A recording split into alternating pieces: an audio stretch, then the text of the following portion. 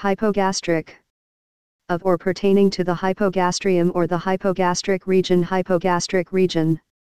A. The lower part of the abdomen. B. An arbitrary division of the abdomen below the umbilical and between the two iliac regions.